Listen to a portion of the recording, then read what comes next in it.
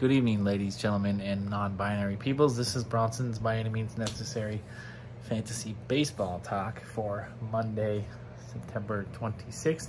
This will be my second to last baseball video because this should be everybody's championship round. If you've made it this far, great. Sorry I wasn't super helpful to you last week. I only put out one video. Um, this is a week where it's all or nothing. No big or no home. You don't need any hitters. Um, empty your bench of hitters and use them all for pitchers to stream because you're going to want pitchers to survive this week. Um, in my leagues, we have a maximum, we, have, we can have 29 starts for the two weeks. So that's pretty... Hey, look, Zeke Elliott just scored a touchdown. Great. I'm, I wish I'd have played him. I, I didn't play him this week.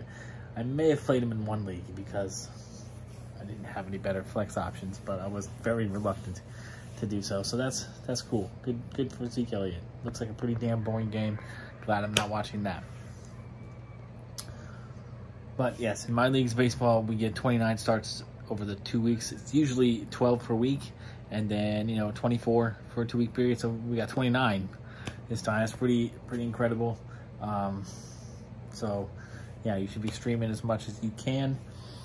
Um, I've got streamers for you Wednesday or Tuesday and Wednesday for you. Nobody on Thursday, unfortunately. Um,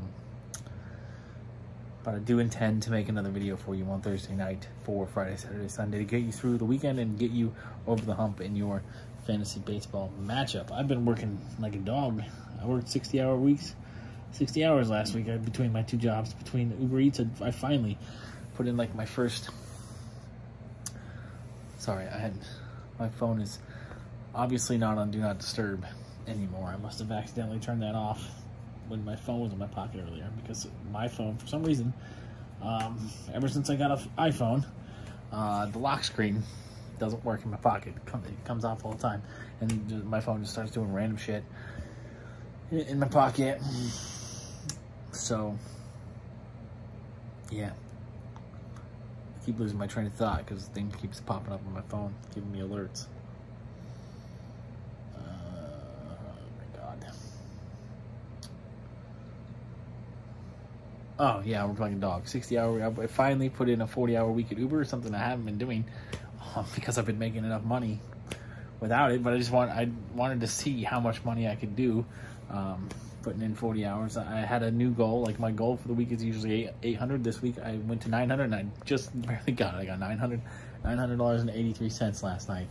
And uh, put in about 42 hours and like 50 minutes or something. So it's just under 43. And then I also worked seven shifts at UPS. Uh, got that overtime money. Got about 18 hours there. So about 60 hour work week last week. Probably going to put in more this week because now that I've done the $900 week, I want to do it again. But it does it does mean I have to work. I got to work all seven days, and um, you know it kind of sucks. Uh, but I got nothing better to do. I try to have a social life. I try to, you know, I got a couple of friends who, um, you know, they hit me up. They're like, "Oh, what are you doing on so and so day?" I tell them, I'm gonna be working, but I can be available for you at whatever time you want to do something, right? So, because that's the pleasure, that's the great thing about making uh, my own hours, working when I want to, is if someone wants to do something with me, I got time. Just let me know in advance. I need I need time in advance to know so I can so I can figure out how I'm gonna still make my money. Um, so last weekend, one of my friends hit me up uh, about going out this weekend. Um, and then, you know, that was the end of it. I said, I'll be available. You let me know when and where. Never gave me a time. Then he wanted to hang out tonight. well, it's 7.30, and I haven't heard from I haven't heard from him today. So, you know, this this is what people do to me. They get my hopes up just so they can drop them on the floor like a like a you know fragile. Um, I don't know.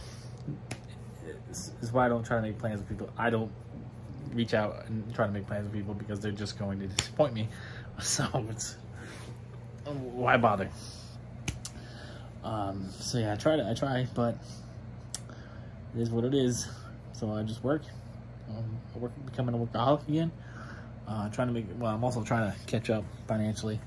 and uh, hopefully get ahead again soon. Um, and then hopefully gonna we're gonna see if I'm gonna move. Although there's still a lot of things like now that I have a car again, um, I want to explore a lot more of this beautiful Pacific Northwest because I've lived here my whole life. There's a lot of stuff I haven't seen, and uh, Canada just opened the borders again today, so I can finally go to Canada. So I got to figure out time to do that in the next couple of months, even though it's gonna start getting cold. Um, but there's a ferry from Port Angeles, Washington, to Victoria Island that I definitely want to get on soon, and then I, I can also just want to drive up to Vancouver because I got a passport. I got a passport specifically to go to Canada, and I haven't been able to do that. So now, just go straight up I-5, uh, six hours. I'm in Vancouver, Canada. That's so. That's something I want to do. I just hope my car. Uh, I put a lot of money into my car, but I'm also putting a lot of miles, a lot of a lot, a lot of wear on my car. So it, I, I, I get a little wary going on these road trips now. So I haven't been going lately. It's because I drive my car around so much oh, that I just I don't want to add even more miles for you know my pleasure. But uh, yeah, the weather you know, is going to start getting shitty around here again. So I got to get out and start doing some Wednesday wanderings again. I don't know if I'm going to go anywhere this Wednesday. Um, most of the places I really want to go still are going to take more than a couple hours to get to. So I'm to have to do a little bit of planning in advance. Maybe spend the night somewhere. Um, but, but yeah, so Probably gonna work all seven days again a week again this week. Work three extra shifts at UPS, including tonight. I just got back. Um, Mondays are pretty awful on the night shift. Uh, but Tuesdays, you know, for us in the morning, Tuesdays are awful too. It's just a, it's just that first day after the weekend where we just get slammed, and uh, yeah, I feel like I need to take a second shower. They worked me pretty hard today, but the good thing is it's overtime because um, even though it's the beginning of the week for me, it is not one of my scheduled work days because my scheduled work days are Tuesday through Saturday, right? So if I work Monday, it's overtime automatically. That's the way UPS works. I love it. UPS is such a great job. I don't want to leave UPS. That's the that's the one thing that uh, is the one hitch in my moving plans, really, other than the fact that I haven't found a place to move yet, is UPS. I don't want to leave this job. I don't want to quit this job. I want to transfer, but they are not letting me do that. I've got to talk to someone higher up and figure out how I can make it work because I want to be at this job until I, until I retire. I can retire for 25 years, whether I'm retirement age or not. So I started at 33. I can retire at 50, 58. So yeah, that's cool. I mean, I still I won't technically be retirement age at that point, but you know I'll have I'll have a pension from UPS, and I can still go do something else for the last few years of my working life, if I so choose. Or by that point, uh, maybe I won't want to work two jobs anymore. Um, you know, lots gonna lots gonna change between now and the time I'm 58 years old. I know that, um, but I don't want to lose this job. Um, all right, baseball stuff. Real quickly, I don't have a whole lot to say. I do have a couple of hitters to consider adding, though. Like I said, you shouldn't be adding hitters at this point unless you got some injuries. Uh, you need to just injuries or or whatever, what have you.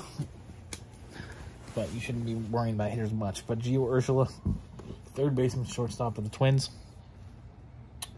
someone to consider, and then Conner Capel, the young rookie outfielder for Oakland is his bat is on fire. He is hitting the ball better than almost anybody in baseball right now. Uh, so he's someone to ride the hot hand with for this last week of the season. For the pitchers to stream, I got four for you on Tuesday and five for you on Wednesday. That should make up for the zero I got for you on Thursday. Four. Tuesday, Corey Kluber at the Guardians. Congratulations to the AL Central champion Cleveland Guardians. Nobody saw that coming. We all assumed it was going to be the White Sox, but the White Sox collapsed, fell apart. Tony La Russa is an old geriatric guy who shouldn't be managing a baseball team anymore. Hopefully he retires. Um, I feel bad for the White Sox owner, Jerry Reinsdorf, because he's really old. I mean, um, he's won a lot. Of, he's had a lot of success. The White Sox did win a World Series with him as the owner, and the Bulls won a lot of championships with him as the owner. But he's a really old guy, and he he wanted to rectify the mistake that he thinks he made 40 years ago by firing Tony La Russa when he was a younger man. Um, but he just he waited he waited way too long waited way too long to do that he should have done it 10 15 years ago after he retired from as the cardinals manager or um, after he stepped i mean he was like the he was like a president for the diamondbacks for a few years or something not that long ago. They, he could have got him then. I mean it's just the timing was just off. He should have done it. There was plenty of opportunities where he could have hired Tony La Russa when Tony La Russa was still young enough and, and a good manager. Um, but you know, at least he at least he did it. He must. He Jerry Reinsdorf is like in his nineties. He's probably he's probably gonna he's probably gonna die soon. He so he he was like, I got to do this now. Whatever the reasons, whatever the reasons rich old men do what they do. Um, it didn't work out, but Anyway, moving on to uh, next next streamers for Tuesday. Hunter Greene at the Pirates, and then Mitch Keller versus the Reds. Those two are facing off against each other. Both are um, pretty talented young pitchers facing bad lineups.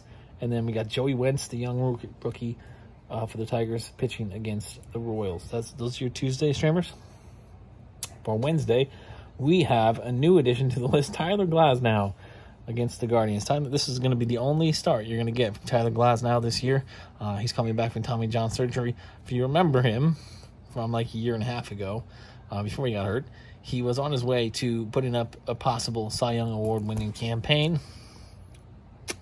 Um, so yeah, he's not going to go very deep into this game. He's already it's already been confirmed that he's not going to throw more than 50 pitches. So he may not qualify for the win or a quality start but uh, it's hard to ignore the talent there, especially when you're trying to win a fantasy baseball championship. You got to go for that upside. And then Matt Manning, Tigers versus Royals. And then Jesus Luzardo of the Marlins at the Mets. Are we going to get the good Jesus Luzardo? Are we going to get the bad Jesus Luzardo? Who knows? You got to go for that upside anyway. Go big or go home, like I said at the top of the episode. Hayden Wesneski, the young, I believe he's a rookie. I've never heard of him before until like two weeks ago. Um, Hayden Wesneski of the Cubs versus the Phillies. He's pitching really well. And then Jose Quintana, who's having an outstanding year for the Pirates. And now the Cardinals um, will be facing the Brewers in Milwaukee. Uh, I've already picked up Jose Quintana. I picked up Jose Quintana days ago in preparation for this week. And uh, yeah, that's it. That's all I got for you. Uh, I watched I watched. Don't Worry. Man, I feel. I know I'm definitely getting fatter because I'm not exercising nearly as much anymore. I gotta figure out. I gotta figure something out because I don't do not like. Uh, I already didn't like the way I looked, and now I feel like I look even worse. Um, I watched Don't Worry, Darling the other night, and that was that movie was fucked up. Okay, um, if you read the book, um, I don't. I never read the book. I didn't even know there was a book. Um, but uh, wow, um, definitely you could definitely tell it was a book because Hollywood doesn't have the creativity to cre- come up with something um, that effed up. Uh, that's definitely a writer's imagination, and uh, it was a good movie. Florence Pugh is super hot. Like I don't, I've seen her in movies before, and always I always thought she was like pretty, but like this movie she solidified herself as a hottie, a certified hottie in this movie, and she did a good acting job. Harry Styles did a good acting job. I'm amazed. He's actually not that bad of an actor. Olivia Wilde, fantastic. She did a good direct, a good job directing. I think thought it was a good movie. It's a well done movie. Um, I just didn't like it. It was just like it, I don't want to ruin it. I don't. I don't want to ruin it for you guys. I want you guys to watch it and enjoy it for yourselves. But it was definitely um, not what I was expecting. I mean, I, I was. I was. I could tell from the trailer that there was something weird going on in this movie. Um, but never, ever did it occur to me that it was what it actually ended up being, and I, it blew my mind. I was like, it, after finding out what was going on in the movie, I was very uncomfortable, and let's just say that. So, um, yeah, but it was it was decent. I don't think, I don't know if I could watch it again. I think it's kind of one of those movies that doesn't have a lot of rewatch value. I mean, I guess I guess you could watch it again because you want to you want to like watch it second time through to see if there was any clues to what the twist what was gonna happen but um yeah not a bad movie not a bad movie at all just um going uh, expecting um i mean maybe maybe it is exactly what you think it is maybe but it caught me off guard. That's for sure. Uh, so, um, yeah, I guess I guess I'm gonna end this now, and I'm gonna focus on making some money because lunch lunch was okay. Uh, I only did eight orders. I did like four orders in my first hour, and then after that, my second hour, I did like one. It was just completely dead. I don't know what was going on. Um, and then my third hour, I did three. So I got eight total, made over 50 bucks. So not bad. Uh, I feel like I definitely could have done better if that second hour had not been so wacko. But um, I'm waiting until the sun goes down because I don't, because my car, my window, windshield does not have glare resistance. So the light, when the sun is going down, beaming right in my eyes, it is really, I cannot see. It is, it is a safety hazard. And um, the, the, the little what the hell is it called? The thing that comes down over the window to block the sun doesn't do shit. It does nothing. So um, I don't like to drive in that half hour period when the sun is going down because I don't want to get into an accident. I don't want to hit some kid because it's you know it's the time of day when the children are home. They could be out riding their bike. I might not see them or some pedestrian walking. I just I don't feel safe um, driving at the time of day, which kind of sucks because that's a good potential. That's a lot of money that I'm losing out on. But, um, yeah, safety first. Um, so yeah, I'm waiting for the sun to go down, which I think is down now. It's after 7:30. Um, so luckily, I'm actually looking forward to the time of year when the sun goes down to like four ish, 4:30 now because that's not a time of day when. Uh, you know, it's not a time of day I'm usually out because it's not, it's kind of dead. So, like, by the time I go out for dinner at 5 o'clock, the sun will already be down. It'll be great. And, yeah, that's it, I guess. Peace, love, nacho fries. Good luck with your fantasy baseball matchups. Good luck with your fantasy football matchups. I'll have my waiver wire video tomorrow. Um, if you're watching this boring ass Cowboys game, um, good for you, I guess. I guess you care about football more than I do. I'm not watching it. awful. I saw the score in like the third quarter after I got off of UPS six to three. I was like, oh, okay. Oh, I missed nothing. Um, I don't. If I'm not, if they're not scoring touchdowns, I don't care to watch the game, honestly. So, as, as I've noted several times, I do not care about kickers at, at all. So, um, yeah, I haven't I haven't checked my fantasy scores at all this week. Uh, it's just it's just somewhat it makes for a much less stress-free Sunday when I don't even look at it. I just look uh, after the game ends on Monday night to see how how it went, and uh, yeah, I'm a little worried about my money again. I'm already 0 2. I feel like I'm probably gonna be 0 3 because.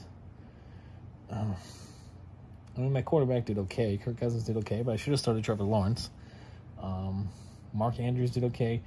I don't think Deebo did shit. I don't think, uh, who was my other wide receiver? Rashod Bateman didn't do shit. So, yeah, I'm probably, probably be 0 and 3, which is um, pathetic.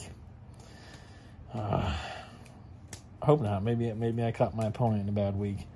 Um, and that's another. I have 28 teams. I don't it, it's too hard to keep up with uh, who I'm playing against because everybody because I'm going to be playing against every single player in the league most likely. So it doesn't. It's no point to think to be like, oh, I can't, I can't have, uh, I can't have Tyreek Hill score more than 14 points today um, because you know I, I have Tyreek Hill in a lot of leagues. So uh, yeah, I would like Tyreek Hill to have a good day. Um, so I, I'm just it's just much less stress free when I don't even worry about it. I just set my lineups on Saturday and I just watch football in peace and bliss on Sunday, sometimes Monday, and then I just you know check my scores when the game's over on Monday night and hope that I won. You know. All right. Good night.